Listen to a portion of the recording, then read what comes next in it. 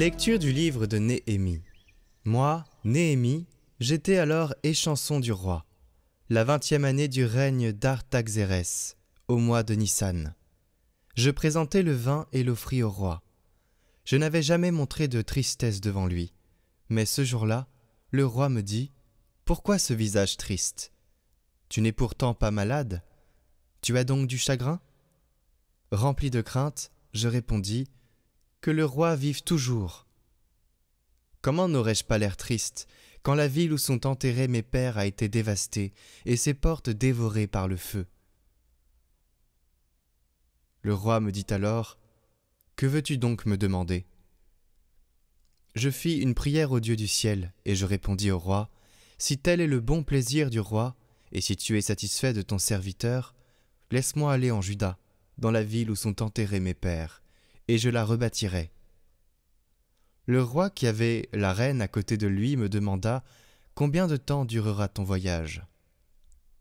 Quand reviendras-tu?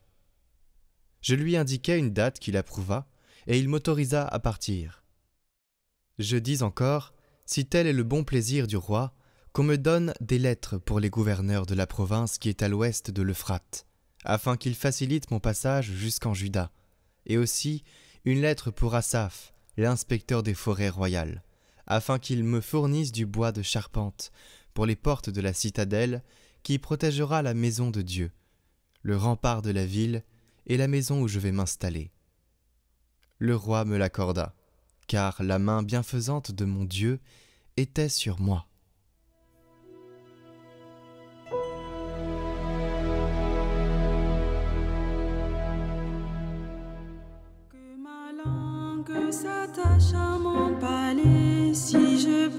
Souvenir.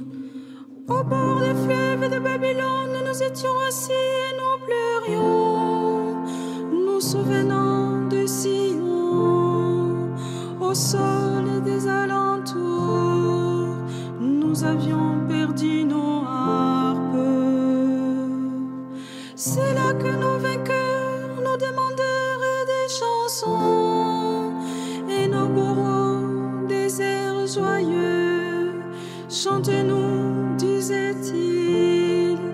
quelques chants de Sion. Comment chanterions-nous un chant du Seigneur sur une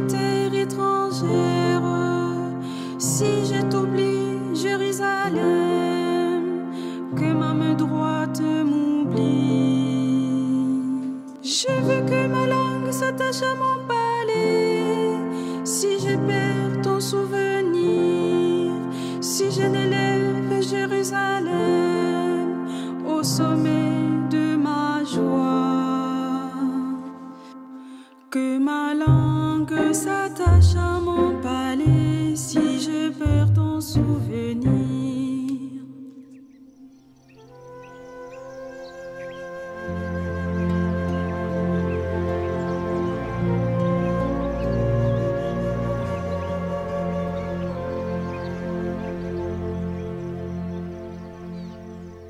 Évangile de Jésus-Christ selon Saint Luc.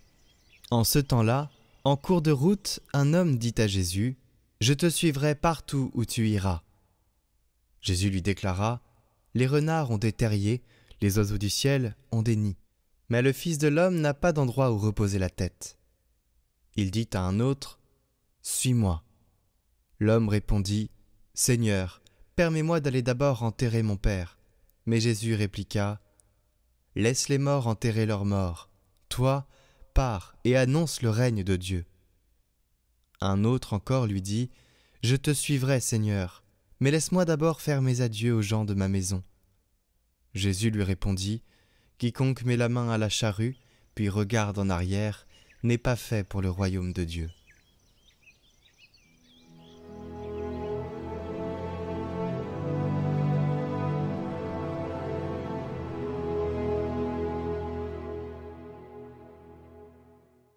Commentaire de saint Hildegarde de Bingen.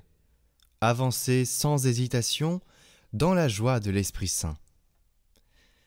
Il faut que l'homme accomplisse les œuvres de justice dans la joie de l'Esprit Saint, sans marquer son hésitation dans un murmure pervers. Il n'a donc pas à dire qu'il lui manque soit la première racine placée d'abord dans l'homme par un don de Dieu, le discernement de ce qui est bon, soit la grâce de l'Esprit Saint qui touche cette même racine par ses conseils, le feu de la grâce qui motive la volonté. S'il agit avec une détermination joyeuse, il ne doit pas être dans l'angoisse à cause de ce qu'il a fait autrefois. Poussé dans un élan répréhensible comme s'il avait eu quelque chose de plus faible en sa racine intérieure.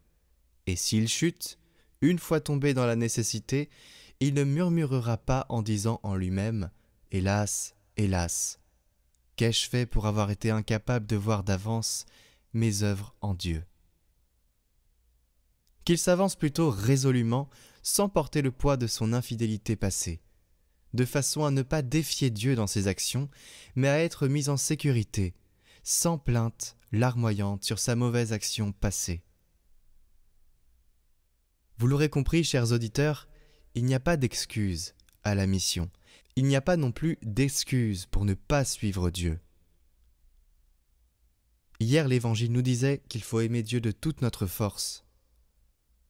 Eh bien, si nous l'aimons de toute notre force, n'hésitons pas et plongeons avec lui, dans l'océan de sa miséricorde et dans la joie de l'Esprit Saint. Allons-y sans hésitation. Et si nous chutons, eh bien ne restons pas, face contre terre, tétanisés par notre action. Mais relevons la tête et concentrons-nous sur l'avenir, parce que c'est ça qui est important.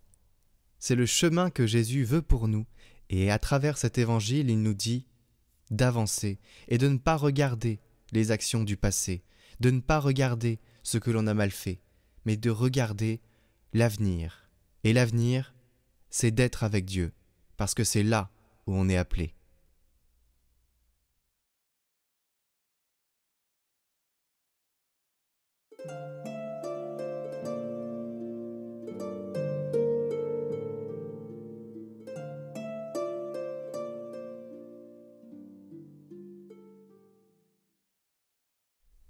Prière du matin de Saint François d'Assise. Au nom du Père, du Fils et du Saint-Esprit. Amen. Seigneur, dans le silence de ce jour naissant, je viens te demander la paix, la sagesse et la force.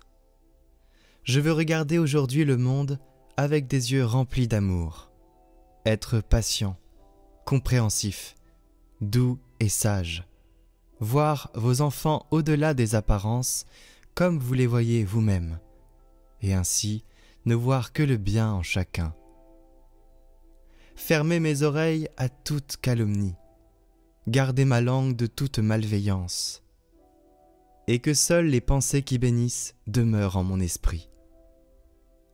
Que je sois si bienveillant et si joyeux, que tous ceux qui m'approchent sentent votre puissance et votre présence. Revêtez-moi de votre beauté, Seigneur, et qu'au long de ce jour, je vous révèle. Ainsi soit-il.